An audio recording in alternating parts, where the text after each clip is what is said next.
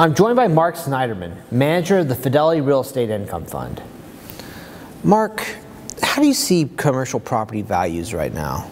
I think commercial property values have enjoyed a tremendous run over the last uh, bunch of years.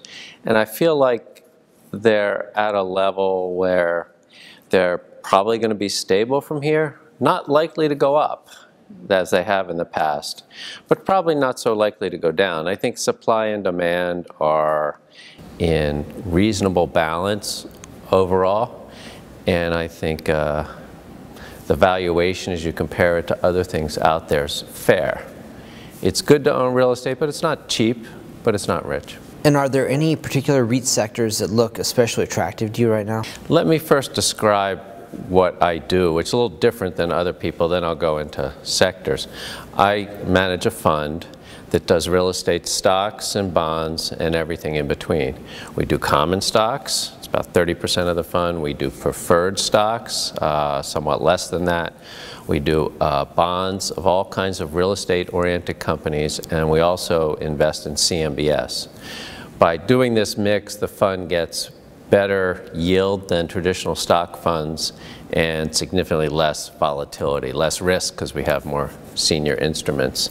So it's an interesting alternative uh, that we provide for investors. So in my job, I'm not only looking at common stocks, I'm looking at all the other kinds of instruments issued by, by these companies.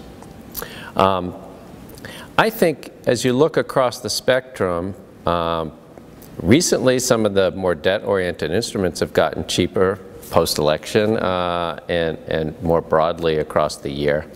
But I think in, in property types on the equity side, I'd say some of the uh, healthcare-oriented uh, property owning companies have, have gotten cheap, and uh, that's something I'm, I'm revisiting.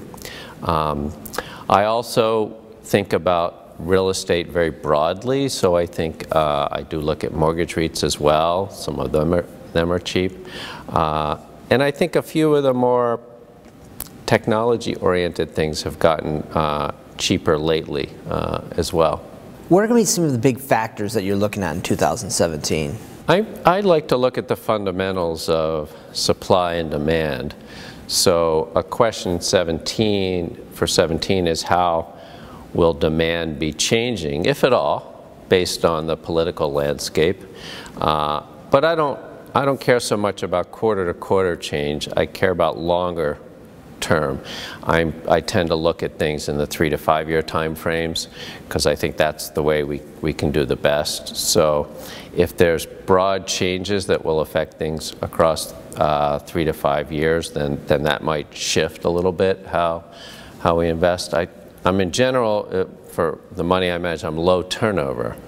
So that's turnover in the 20s per year. So we always want to see how the arc of time if is shifting and how things might shift for the longer haul. So I'll watch some of those. Well, thank you so much for your time, Mark. I appreciate it. Sure. Thank you. And for more on this and other real estate news and analysis, be sure to visit REIT.com.